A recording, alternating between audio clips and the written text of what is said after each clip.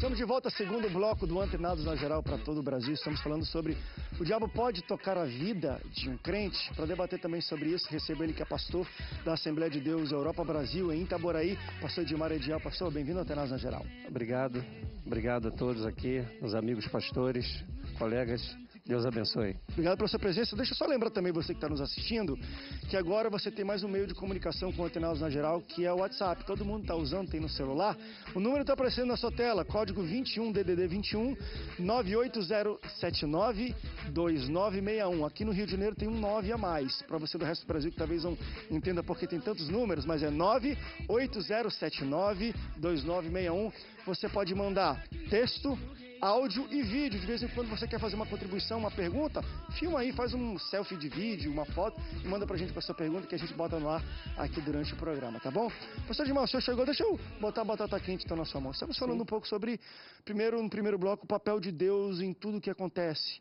Nós falamos que ele permite tudo. O diabo não tem uma, cal, uma carta de alforria que ele faz o que quiser, é sempre com a permissão de Deus. Sim. E falamos um pouco sobre o papel de Deus nisso tudo, dentro da sua onisciência e, e, e, e tudo que ele, da sua onipotência e dentro uh, de tudo que ele pode fazer. A gente não deve questioná-lo. Mas a nossa pergunta agora é, mais do dia a dia, é o seguinte: o cara é crente, fiel, ama Deus, está na casa de Deus e alguém faz uma macumba, faz um trabalho espiritual contra. Pega, macumba pega em crente. Então é difícil, é difícil entender como funciona a cabeça de algumas pessoas com relação ao mundo espiritual da parte do mal. Nós temos um Deus todo-poderoso, um Deus que se revela como Criador, e temos o outro que é o inimigo, né? O inimigo dele, que é o Deus do mundo que cega o entendimento das pessoas. Então, é, nós temos aqui no, no Brasil esse sincretismo religioso. E a igreja me parece que não consegue viver, não consegue viver sem um pouco de um pouco desse sincretismo, dessa coisa da macumbaria, da bruxaria, e cheio de profetas do caos dentro da igreja, amedrontando as pessoas com relação a essa coisa. Essa semana mesmo eu vi Mas um é vídeo... real. É, Biblicamente, eu... a gente tem, profeta Paulo, é, o cara sim. faz um negócio aqui, cobre, que engole. Eles também têm sim, poder. Eu, eu né? vi, é, eles têm o poder, mas eu fui criado é, com a minha mãe nesse meio, por hum, exemplo, aí eu me converti. Eu me converti, acordei muitas vezes novo convertido com minha mãe fazendo defumação na minha cabeça, me dando banho de pipoca para abrir os meus caminhos. Então eu acordava com aquele monte de pipoca na cabeça, eu perguntava, mãe, para que isso? É para abrir os seus caminhos, meu filho. Aí eu eu, novo crente, para escarnecer um pouquinho ali, eu comia as pipocas dela. Então, eu nunca tive nenhuma seta maligna, nenhum problema é, de dor de cabeça, como, como as pessoas falam. Mas hoje eu, creio, eu vejo que tem um grupo é, evangélico que vive disso. Que as, as igrejas enchem amedrontando, causando esse terror no coração das Mas pessoas. Mas a questão é, mas existe isso. Não, não é questão se usa. Você entende que alguém pode, maligno pode tocar através de um trabalho, a vida de quem é crente, quem é fiel? Então, essa semana eu vi um, um, uma mensagem de um pregador famoso aí, eu não posso falar o nome dele aqui, nem vou falar, mas ele conta que veio no avião e sentou ao lado de uma bruxa. E a bruxa começou a falar que o poder dela era para destruir a igreja e, e os pastores. Eu, na minha visão, visão bíblica, macumba não pega em crente. Meu Deus, pastor Celso. É, é, é complicado esse troço, né? Não pega não, André. É? É. Só se o crente der legalidade o diabo, né? Só... Não, mas, é, então, assim, a questão é assim, macumba tem o seu poder, então. Quando, porque quando gente, às vezes a gente fala assim que não pega, parece que assim, é inexistente. Não existe. Existe. E, e, até uma coisa, tem uma pergunta na internet, e eu vou passar para o seu Celso para ele poder também responder isso, porque a gente, às vezes, fica muito nesse nosso linguajar de igreja, né? Porque a gente dá legalidade, abriu a brecha. Quem tá, e tem uma pessoa que mandou uma pergunta, olha, eu estou vendo aí, eu já vi outros programas, abre brecha, dá legalidade. O que, que é isso? É, o que, que é abrir legalidade? O que, que é dar brecha? É pecar? Então, meu irmão, vai pegar em tudo que é crente, porque todo crente peca. Se a gente partir desse pressuposto, então, irmão, todo mundo dá legalidade para o diabo, porque todo mundo já pecou e todo mundo peca quase todo dia. É, será que a gente pode tentar se aprofundar nisso? O que é legalidade ou brecha? Tamanha que o diabo possa agir na vida de alguém através de um trabalho espiritual. Entende isso? Bom, minha opinião é o seguinte. Que eu também acho, um cara tá, tá bem, tá no altar, meu irmão, o cara pode fazer despacho com foto no meio, eu já vi de alguns vídeos, e nada acontece. Mas tem gente que, meu irmão, tem, tem uns troços que é esquisito mesmo, que eu já tive acompanhamento também de pessoas que viveram em espiritismo e tudo, e ela só teve libertação completa quando a casa dela teve que tirar tudo de roupa, de coisas que se usavam, de utensílios físicos e queimar. Foi um negócio que foi até contra como eu entendia as coisas de Deus. Mas quando eu vi nessa família, que é uma família hoje muito amiga nossa, muito próxima, homens, olha, uma família de Deus, mas passaram por um processo de libertação que teve que pegar as batas que ela usava nos centros e tirar da casa dela fisicamente, queimar, e, e passou a ter um trabalho específico, senão não dava. Liber... Sabe, ela estava bem, daqui a pouco o diabo pegava ela e brincava com ela, você não dormia, não chegava a ser possessão, mas uma opressão muito forte. Parecia que e a gente fala, não, vamos orar que Deus está tudo certo, está coberto. E não é tão simples assim também às vezes. André, nós decidimos, nós decidimos estruturar que uma pessoa que aceita Jesus, o fato é simples, ela levantou a mão, aceitou Jesus. Só que isso não existe, isso não é bíblico, isso não é o nosso. É, é mais fácil a gente esclarecer para a pessoa e a pessoa entender desse jeito. Só que não é bem essa a verdade. Aceitar Jesus, ela quer decidir que o Deus da vida dela é o Deus da Bíblia. Diariamente. Diariamente. Não é uma decisão uma vez. E, não, e é uma decisão que envolve tudo na vida dela. Ou seja, se ela quer Jesus, mas ela quer manter na casa dela todas as coisas que vinculavam ela com o passado dela, ela está em dúvida sobre quem é o Senhor da vida dela. Então ela precisa quebrar os vínculos com o senhorio anterior e decidir de verdade quem é o Senhor da vida dela. Se ela não jogar fora essas coisas, se ela não quebrar as coisas que ela tem, se ela não disser assim, não, eu tenho coragem de abrir mão de todo o meu passado e viver o meu presente. A gente estava conversando sobre a África e um dos problemas principais da África é o sincretismo religioso. Os caras querem estar no domingo na igreja, mas querem estar na sexta-feira para fazer ah, mas aqui o, também tem uns assim, que vão domingo tem. no culto e vão na, na segunda sexta... tomar um passe. Tomar um passe para garantir. Então, o que, que acontece com essa pessoa? Essa pessoa está dizendo que existem dois deuses na vida dela. E o diabo vai dizer que isso é possível. Não, você pode. Hum. Mas o nosso Deus vai dizer: não, meu lugar é único. Se você quer dividir com qualquer pessoa, inclusive com você mesmo, o problema do jovem rico não era nele não conhecer a palavra, o problema do jovem rico não era ele não viver o que a palavra dizia, o problema dele é que o trono dele, ele tinha que dividir Deus com ele. Quando Jesus desafia com dinheiro, o problema não era o dinheiro. O problema era o amor ao dinheiro. Então, aquilo ali era tão forte para ele que Deus disse para ele: escolhe o seu Deus. E ele decidiu: meu Deus é mamon, meu Deus é o dinheiro. Então, é, a gente precisa esclarecer para as pessoas, às vezes a gente engana as pessoas, que só levantar a mão foi suficiente. Não é verdade. Ela precisa tomar várias decisões na vida dela que vão orientar a vida dela para quem é o Deus dela. E às vezes são decisões em relação à morte e vida. No Brasil, não. Mas fora do Brasil, você dizer que aceitou Jesus, você está declarando a sua pena de morte. Ou seja, para esse cara é até mais fácil. Se ele levantou a mão, para ele ele já entende. Eu levantei a mão. Isso quer dizer que eu posso morrer. Mas para o Brasil, ah, esse negócio de crente é legal, é legal ser crente. Tá na moda. Tá na moda. Exato. Todo que é artista, aí de repente esse cara vai e fica endemoniado, aí você fala assim, poxa, não, você tem que aceitar Cristo de novo, levanta a mão de novo. Ele levantar a mão de, vai levantar a mão de novo e você vai ter o mesmo problema de novo, porque ele ainda não decidiu completamente quem é o Deus da vida dele. Mas nós temos aqui uma história grande de passado que a Igreja Católica criou é, é, em volta da figura do, do maligno da figura do mal, aquele cidadão de chifre e de rabo e aquela coisa toda que o cara aceita Jesus, ele se converte, mas ele ainda fica com medo ainda um pouco, ele fica amedrontado ainda um pouco. E aí ele se converte de repente de uma religião pesada, pesada. E ele sofre ameaças também.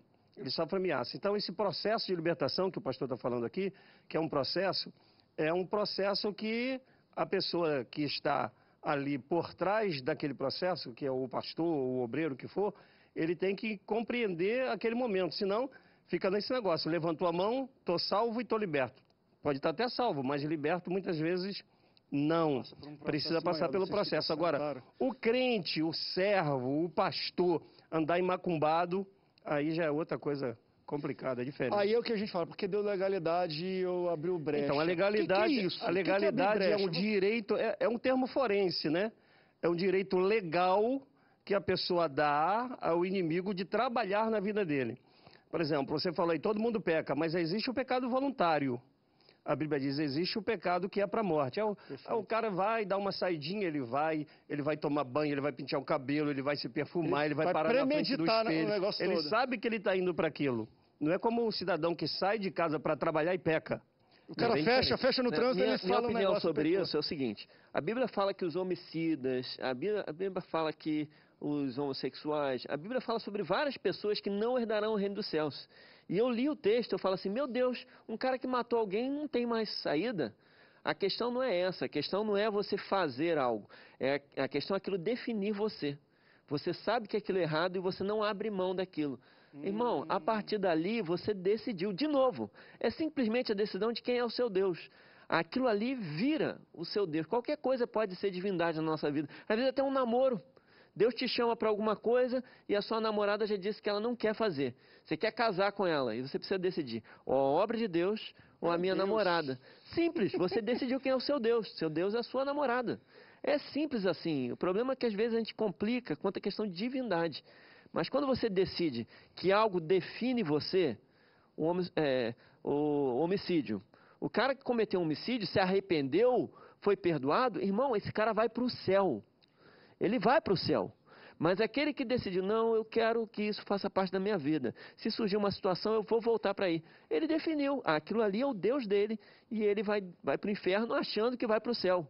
Iludido. Mas ele definiu quem é o Deus dele. Simples assim. A gente falou aqui, pastor Edmar também, falamos, deixa eu falar, e é um outro ponto que eu acho sensacional a gente tocar, falamos um pouco sobre macumba tocar, ou alcançar, ou ter efeito na vida de um crente. O pastor Edmar falou de possessão, de uma pessoa ficar endemoniada. Aqui eu acho que temos pastores, vivemos, crescemos todos em igreja. Eu, até uma coisa interessante que eu me pergunto de vez em quando, até quando estou com meu pai. Antes, quando, eu era garotinho, eu via muito mais possessão maligna dentro de igreja do que eu vejo hoje. Hoje parece que não é tão fácil você ver alguém possesso. Eu não sei se tem a ver com questão de espiritual, das potestades fortes, fracas. Eu, eu não sou muito praticante ou leitor, eu não entendo muito disso. Mas vocês acreditam que uma pessoa dentro de uma igreja que já teve uma vida, ou tem às vezes uma vida com Deus, pode ser possessa, pode ficar endemoniada, pastor Celso? O senhor já viu algumas situações dessas que você falou, caramba, essa pessoa, família, boa, oramos e Teve algum, algum caso desse que te surpreendeu ao ver uma pessoa eu endemoniada? Eu não me lembro de nenhum caso assim, de crentes, pessoas né, dedicadas à obra do, do Senhor, ficarem possessas, não. Já acompanho, né, assim, e orando e expulsando né, é, o demônio de pessoas que vêm de experiências lá fora ou fazem aliança com coisas erradas. E quando chegam na igreja não é, é, o demônio se manifesta, a gente repreende, expulsa, e não, na outra reunião aquela, aquela cena se repete novamente, né, mas assim, de pessoas comprometidas com o evangelho, nascidas na igreja, eu não tenho experiência. Tenho eh, visto isso, pessoas que vêm da feitiçaria, que os pais eh, apresentaram lá no, no centro de Macumba, né? enfim, receberam a imposição de, de sacerdotes né, da feitiçaria, sim, é, pessoas é, de famílias tradicionais da igreja, eu não, não vi isso. É interessante. O Sebastião falou no último, no último, acho que no primeiro bloco, a questão também de. E eu, eu vejo um pouco isso, às vezes, de como talvez Satanás, o mal, começa a atuar, ele entende. Porque ele sabe se ele se manifesta dentro da igreja, ele sabe que ele vai ser expulso, né? Ele sabe que você vai embora. E parece que, que ele muito mais tem hoje, nos dias de hoje, interesse em agir sem ninguém saber que ele está agindo, está dentro, né, possuindo alguém sem que ninguém saiba que ele está possesso, do que às vezes a frenesi que a gente vê de uma pessoa endemoniada, que não tem controle, e a gente vai lá e expulsa Eu tive na hora. uma situação dessa, tive uma situação, um chá de mulheres, um chá de mulheres, simples. Lá eu estou vendo a, a anfitriã da casa falando umas coisas meio estranhas. E aí eu peguei todo mundo, falei assim, todo mundo repete comigo, por favor, Jesus é o Senhor. E a mulher, eu falei, pronto, pronto. Não chá de mulher. Não chá, olha, Light, tranquilo, né? Lightzinho. Nada, eu fui lá no ouvido da mulher e falei, sai agora em nome de Jesus. A mulher voltou a si, falou o nome dela, tudo tranquilo. Ninguém soube de nada. A situação ficou completamente normal. Mas o diabo não se manifestou assim, gritando e tal. Então, existe, existe aquilo é... que nós é. falamos agora da possessão, né? A pessoa pode estar possuída e pode estar possuída em vários níveis e graus. E como existe a influência também, ela pode estar influenciada, é, ela pode estar oprimida pelo mal, ou o inimigo pode ter tomado a mente dela é, num, num dado momento. É, a questão aqui, é como o pastor falou ali, é de pessoas que servem a Deus, que estão servindo ao Senhor, estão trabalhando para Deus. E de repente, por qualquer deslize, endemoniou. É, eu, no Brasil, nós, é complicado de entender. Não de entender, como, né? É complicado de entender, mas existem denominações inteiras que se formam atrás disso. Eu vou em alguns lugares, às vezes, pregar, e o que eu vejo lá é mais as pessoas amedrontarem, ó, fizeram uma macumba para você, e você vai ter que desfazer isso. Eu me lembro que quando eu estava noivo, e uma pessoa disse que tinha uma obra de macumbaria para eu não casar.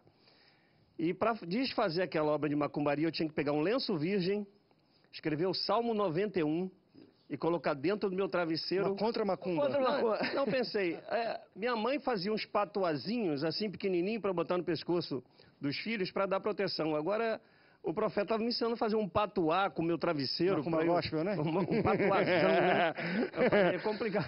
Vamos para o rápido bloco. Daqui a pouco a gente fala um pouquinho mais sobre isso também. Dessa influência pode, não pode? Só uma história que eu vi ontem, o meu pastor pregando sobre isso, de, um, de também nós como crentes entendemos a palavra, qual, qual a nossa atuação também em situações assim, que a gente acha que às vezes não é o pastor que tem a palavra que liberta. Meu irmão, Deus nos deu aqui, a gente tem o Espírito Santo. Em nome de Jesus a gente consegue expulsar qualquer tipo de coisa. O irmão ligou três horas da manhã para o pastor. Isso ele contou ontem no culto. E o pastor colocou aqui foi, pastor, e aquela barulhada na casa dele, pastor, vim aqui, o senhor tem que vir aqui na minha casa agora, não sei o quê. Por quê? Porque minha mulher está endemoniada, não sei o quê. Só o senhor que é o pastor, está não sei o quê. Pode pensar, que nada, tu é crente, expulsa logo aí, expulsa esse demônio e vai dormir, não sei o quê. Aí chegou bem baixinho assim no, no, no telefone e falou, é que a minha vida não está no altar, pastor. Vamos para o rápido bloco, o rápido intervalo, daqui a pouco a gente volta, não sai daí, o Antenados volta já já.